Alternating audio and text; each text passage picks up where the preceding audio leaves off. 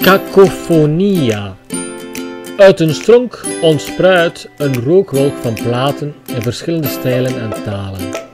Samen produceren ze een cacophonie van geluiden en klanken door elkaar. Wie goed kijkt, ziet toch iets gemeenschappelijks en ontdekt een zekere orde achter de ruis van het samen zijn. Het werk gaat over muziek als universele en tegelijk lokale, regionale expressievorm van de mens. Cacophonia is een metafoor voor diversiteit.